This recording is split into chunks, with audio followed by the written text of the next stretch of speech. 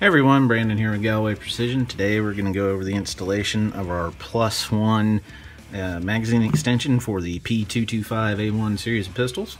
Uh, as you can see, we're also doing a little preview on uh, our dual holster for it that will be hitting the site about the same time that the uh, mag extension does next week. And the reason we call it a dual is because it carries your pistol and your spare mag, so it does all of it. Alright, so as you can see, anyone that's bought one of these before is familiar with we do a Cordura backing, 1000 denier, with uh, using 3M VHB to hold it in place. This stuff's good. That's holding it on uh, that we've switched to now holds on up to about 200 degrees. So no worries about it peeling and coming off or anything like that. It's it's on there good and proper. You'll be able to get it with either the UltiClip Slim 3.3 or the Fabriclip Real nice setup. Feels good.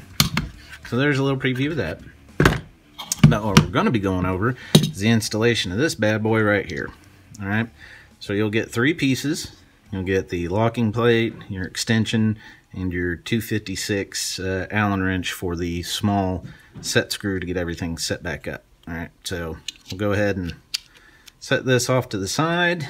We're going to go over tools you're going to need. Well, obviously we don't need the pistol.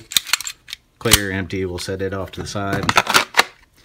Alright, we got our magazine. Tools you're going to need, you're going to need a silver or black uh, Sharpie. Something, something to mark with, basically. Your 1 8 inch punch. Need a heavy cutoff wheel, Dremel, doesn't matter what brand. You'll need your Dremel tool. And we're going to show you why. Alright, so go ahead and take your mag. Well, actually, before we do that, let's go ahead and remove our set screw from the extension using the supplied Allen. Alright. Now we're going to take our 1 8 inch punch and push in on our locking plate, push off our floor or correction base pad, and we're going to remove the floor plate from the spring. Don't need to take anything else out. Now, you're going to orient your locking plate in your extension first make sure that you've got it facing the right way. And what I like to do is I take and press the spring. Sometimes it can be a pain in the butt. If it's going to be a pain in the butt just make sure not to throw it in the floor like I just did. But to make sure that you get it the correct facing the correct way so that everything lines up and you'll know because if you put it in backwards, see how it's sitting?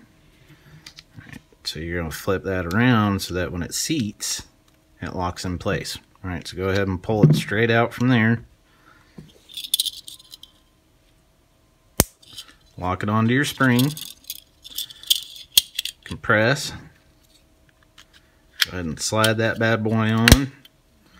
Now what we want to do is we want it front to back even and what we're going to do is we're going to take our Sharpie, we're going to dot right where the screw is going to sit. Alright, so then we're going to remove the extension, leaving the locking plate on the spring. Just remove the spring. You don't need to take out the follower. So we're going to take our cutoff wheel,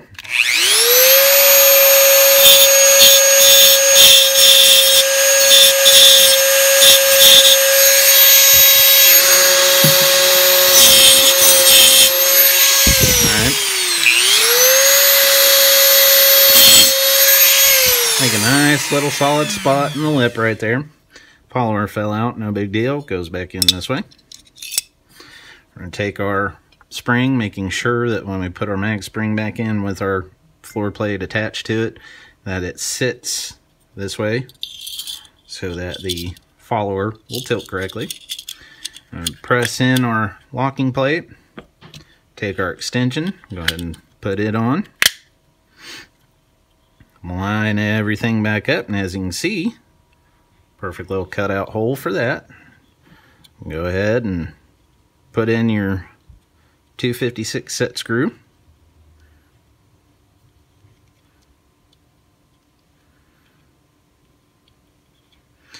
these are threaded all the way through, so if you have a hard time coming from the top, you can come all the way through from the bottom up.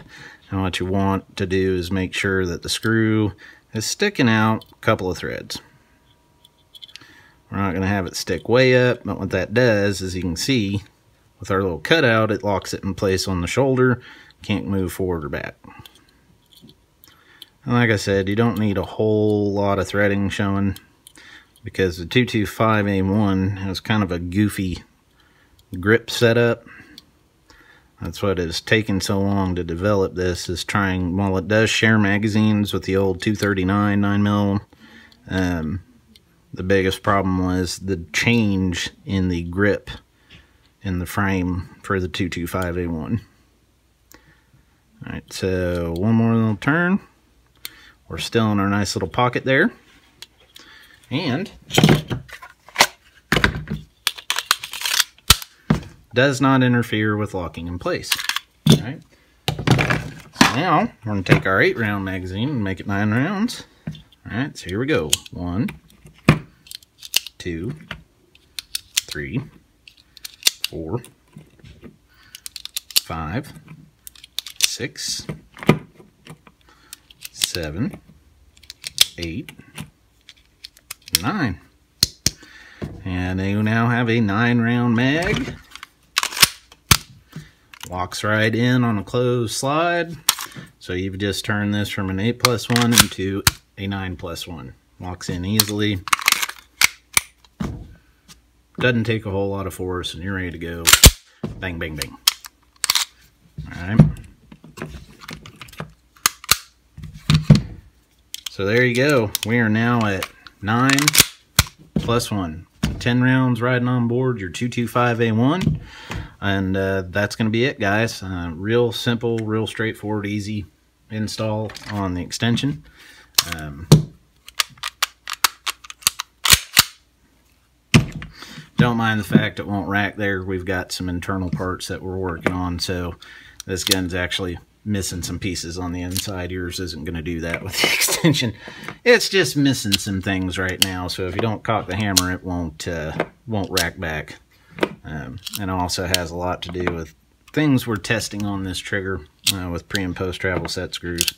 So pay no attention to that. There's internal workings happening um, but yours is obviously not going to do that. And that's it, guys. Uh, if you got any questions, feel free to email me at tech, that's Tango Echo Charlie Hotel, at gallowayprecision.com. Uh, be sure to follow us on social media here on YouTube. Like, comment, and subscribe below.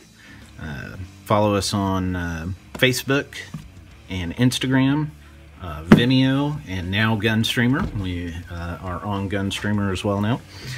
Uh, be sure to swing by the website or the Facebook page and sign up for the newsletter. Uh, get the weekly flash sale newsletter, and about once a month, all our new products come out with the newsletter. And that's going to be it. So, as always, be safe, be accurate, and God bless.